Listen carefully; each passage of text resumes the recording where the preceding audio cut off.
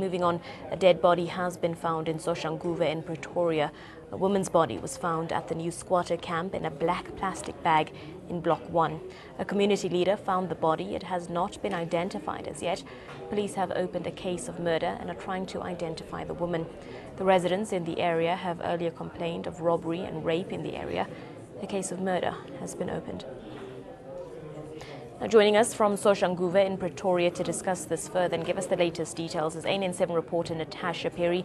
Good afternoon to you once again, Natasha. Uh, are we any closer to identifying uh, this body? Uh, has there been any further developments in this story?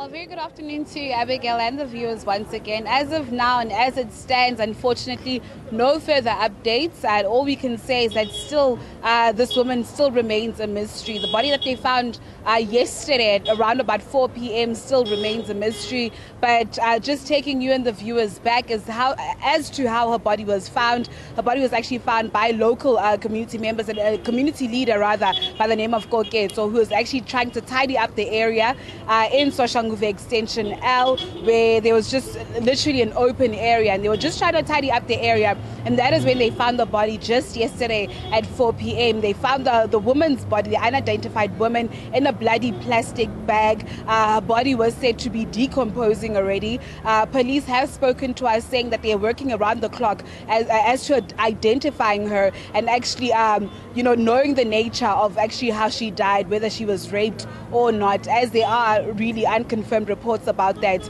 But the community really has raised uh, their grievances and their concerns, saying that they don't feel safe and that uh, the municipality should actually rather build houses or park around that area so that they could feel safe. You also spoke to an, uh, a woman who uh, rather uh, remained uh, uh, wanted to re remain anonymous. Uh, excuse me for that. And she said that several years back, she too was actually raped uh, in that open area. People have said that people actually dump bodies of dead babies around there. People get raped within that park. They also get robbed as well. And it isn't safe for the community, Abigail. Mm.